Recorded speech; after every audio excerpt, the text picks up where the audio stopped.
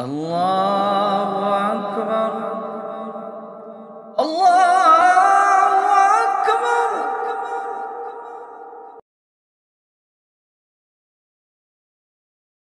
असलकम वरहमल वर्क नहमदू वनसली अला रसूल करीम अम्मा बाद फ़ाऊज़ बिल्लामिनशैतवानरजीम बसमिल्लर रहीम रमज़ान सब्र का महीना सब्र का मतलब है रुकना और अपने आप को थामना।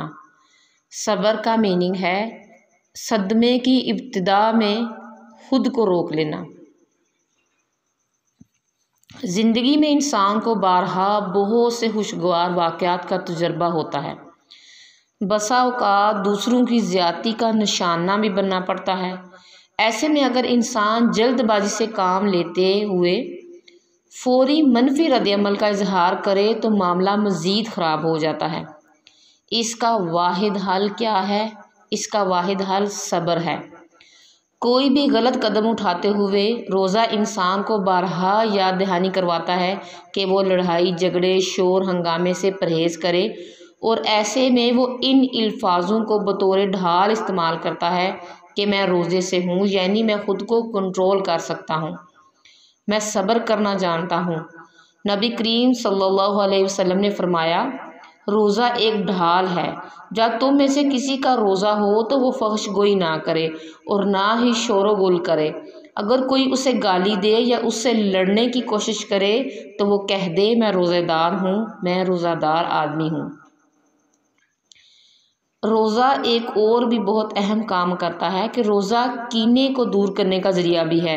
रसूल सल्लल्लाहु अलैहि वसल्लम ने फरमाया, सब्र के महीने, माह रमज़ान के हर महीने के तीन रोज़े रखना सीने के, कीने को, यानी कि जो हमारे दिलों में गिलाजते हैं या हसद की बीमारी है, उससे भी अल्लाह ताला इसको दूर करते हैं। रोज़ा इंसान की पसंदीदा चीज़ों पर रोक लगाकर उसे सब्र की तरबियत देता है। दुनिया और आखरत की कामयाबी के लिए सब्र नहायत ज़रूरी है। कुरान मजीद में आता है सूरह अल की आयत number one one one one one है। आज मैंने उनके सब्र करने पर बदला दे दिया और वही कामयाब होने वाले हैं। और फिर सब्र कहाँ कहाँ हमें करना चाहिए? लोगों से मामला करते हुए अगर किसी से नामवाफिक बात हो जाए और दूसरा शख्स ऐसी बात कह दे जिससे रोज़ेदार को गुस्सा आ जाए तो उसे अपने रोज़े का ख्याल करते हुए सब्र तहमल से काम लेना चाहिए। ख़ास तौर पर कोशिश करें कि गुस्से के वक़्त खामोश रहे। सब्र अगरचे मुश्किल काम है, मगर इसका बदला जन्नत है। अल्लाह ताला फरमाते हैं, सूरह अदहर के और इनके सब्र की वजह से उनका बदला जन्नत और खरीर और रेशम होगा। सब्र अगरचे बहुत मुश्किल काम है, लेकिन सब्र करने वालों को अल्लाह ताला बेहिजाब अजर देंगे। सुर अज़मुर की आयत नंबर टेन में आता है, कह दो ए मेरे बंदो, जो ईमान लाए हो, अपने रब से डरो, जिन्होंने इस दुनिया में नेकी की और उनके लिए बुलाइयाँ हैं, और अल्लाह की ज़मीन कुशादा है। सब्र करने वालों को उनका अजर बेहिसाब दिया जाएगा। इसके मामले में एक हदीस भी है कि सही बुहारी की हदीस है कि जो सब्र की कोशिश करे, अल्लाह उसे सब्र अता करता है। सब्र से बेहतर और वसी किसी को कोई चीज़ नहीं मिली। यानी कि अगर आपको कोई मुश्किल है, कोई मसला पेश आ गया है तो हम क्या करें? वावेला ना करें, शोर ना मचाएँ, आपे से बाहर ना निकलें, बल्कि क्या करें? रुक जाएँ उस जगह पे। तो रमज़ान का महीना आया हुआ है और आपको पता है कि गर्मी भी है, दिन भी बहुत लंबे हैं तो इसमें हमें सबसे ज़्यादा किस चीज़ की ज़रूरत है? सब्र की ज़रूरत है। और अगर हम, मैं देखें या कोई और भी हम देखें, अगर हमने रोज़ा रखा हुआ है और हमें गर्मी का शायद मौसम है तो हम जो है ना बेसब्रे होते रहते हैं कि हम बार बार एक बात को दोहराते हैं कि हमें बहुत ज़्यादा प्यास लगी हुई है, मुझे भूख लग रही है, मैं थक गई हूँ जो आज का रोज़ा बहुत सख्त है। आज जो है, बड़ा मुश्किल रोज़ा गुजरा है। आज बड़ी धूप चढ़ी हुई है। तो यही तो हमने, अल्लाह ताला ने हमें ये महीना दिया है कि हम इसमें क्या करें? सब्र करना सीखें। और अल्लाह ताला देखें हमें सब्र सिखाते भी हैं। जैसे मैं ख़वातीन हूँ और बहुत सी, ज़रा ख़वातीन ही घरों में खाना पकाती हैं।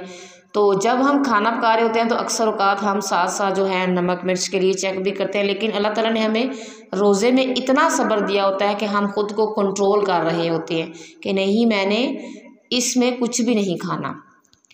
फिर अगर देखा जाए तो सब्र की बहुत सी अहमियत है। नबियों और पैगम्बरों को सबसे ज़्यादा सब्र की ही तलकीन की जाती है।